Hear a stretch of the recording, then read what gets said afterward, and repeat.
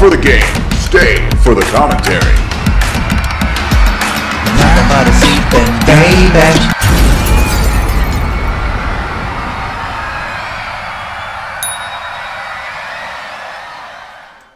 Minion in. Do you guys remember when I talked about this game? You can see the original video up there.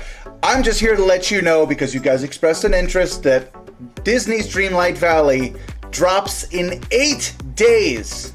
That's right, you guys. On December 5th, I meant September 5th. I I know how months work. We're gonna get to play this. It's gonna be on Game Pass. I'm super excited about it. And as it so happens, that's a Monday. I stream on Mondays. I will be streaming this. You better believe it.